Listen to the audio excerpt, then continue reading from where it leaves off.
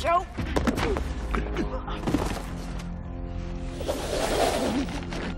Now you just ran out of friends and ran out of time.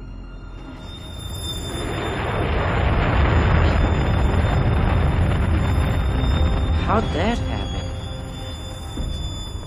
Hey, you. Hold it right there. Glad you could make it. My pleasure anytime. Uh, Rebo, you're such an embarrassment. I tried to kill him, and I did. I mean, look, I just blew myself up trying to kill him. I know, I know, I know.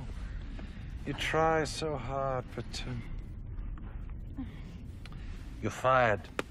You can't fire me.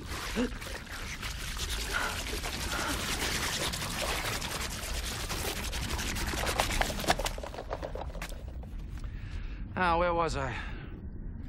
You were about to die. Wait, wait, wait. I think you'll find it'll work a lot better with this.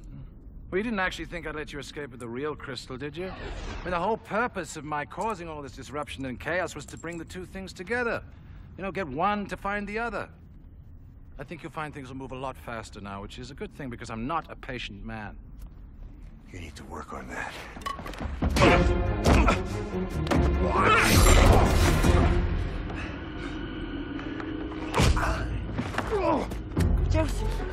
You have to get the scepter out of here. Are you crazy? I'm not leaving without you.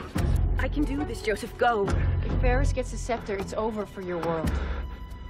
You can do it. It's up to you.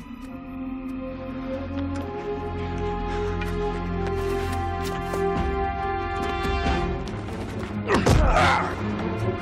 ah! ah! ah!